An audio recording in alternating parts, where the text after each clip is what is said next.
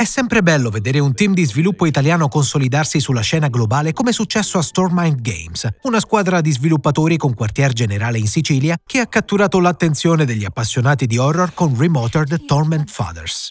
Grazie a un evento in streaming abbiamo potuto dare un'occhiata al gameplay della loro ultima opera, Remotered Broken Porcelain, scoprendo tante nuove informazioni interessanti. La trama del nuovo Remotered è alquanto atipica, nonostante le premesse da horror classico. La protagonista è una ragazzina di nome Jennifer che lavora in un hotel chiamato Ashman Inn. Durante la demo la si trova appesa in una cella frigorifera alle prese con il proprietario dell'edificio in preda a chissà quale mania omicida e costretta a fuggire da tutti i presenti, a loro volta posseduti e sfigurati da una non meglio precisata entità. Cosa o chi abbia scatenato questa orribile catena di eventi non è dato saperlo, ma è chiaro che il piano della povera Jennifer è la fuga. Un'operazione tutt'altro che facile da portare a termine quando ci si ritrova in un hotel circondato da una tempesta di neve e l'unico desiderio dello staff sembra essere quello di farti a pezzi. Nonostante alcuni nomi ricorrenti, Broken Porcelain non sembra però essere un prequel né un sequel di Torment Fathers, bensì qualcosa di differente. La narrativa quindi potrebbe prendere pieghe inaspettate e molto diverse da quelle del Remotered originale, anche se questo non significa che il titolo sia totalmente privo di costanti.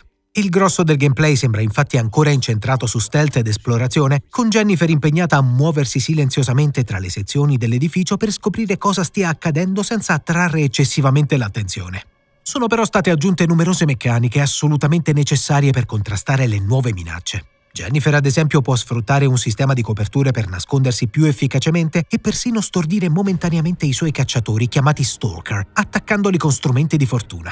Le meccaniche extra però non finiscono qui e arrivano addirittura a modificare sensibilmente l'intero sistema di movimento, rendendolo nettamente più fluido e funzionale.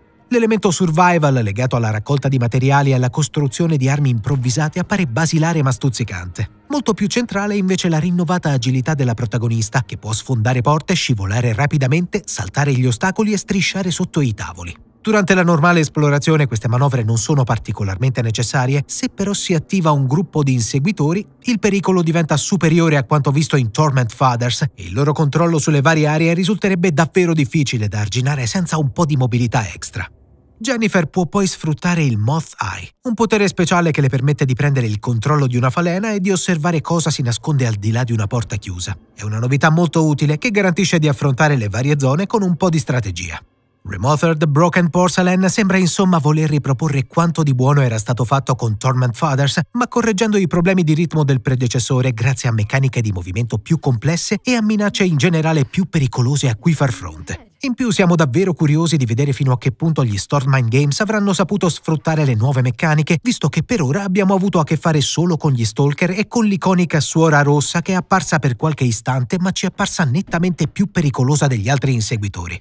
Il potenziale per un horror di alta qualità c'è tutto e non resta che attendere l'uscita prevista nel corso del 2020 su PlayStation 4, PC, Xbox One e Switch. E voi cosa ne pensate dell'opera di Stormine Games? Fatecelo sapere nei commenti qua sotto e se il video vi è piaciuto non dimenticate di iscrivervi al canale e lasciare un bel mi piace per sostenere il nostro lavoro.